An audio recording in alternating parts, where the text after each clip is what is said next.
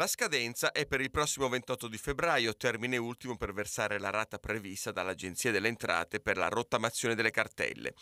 Sono un milione di italiani che hanno aderito all'agevolazione e di questi quasi la metà risiedono tra Lazio, Campania e Lombardia. Attenzione, perché chi non paga, ricorda l'agenzia, perde i benefici.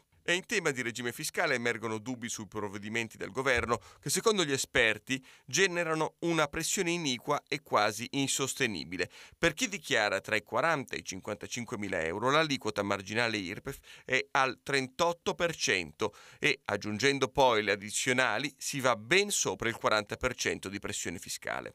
Secondo i commercialisti, ad esempio, siamo di fronte a una vera e propria attività espropriativa del ceto medio e di questo non può non tenere conto la riforma fiscale di cui tanto si parla. Il taglio delle tasse che scatterà a luglio per i lavoratori dipendenti pur garantendo vantaggi alle fasce più deboli rende iniqua dunque l'imposizione fiscale. Anche secondo l'ufficio di bilancio il massimo vantaggio dei nuovi sgravi sarà per i redditi compresi tra gli 8.000 e i 40.000 euro.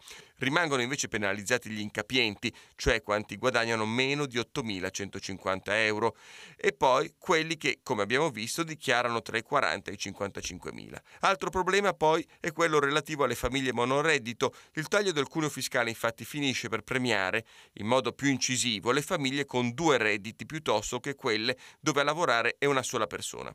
Con un reddito familiare di 55.000 euro annui lordi, il vantaggio fiscale di una coppia con due redditi rispetto a chi ne ha uno solo è di circa 7.000 euro.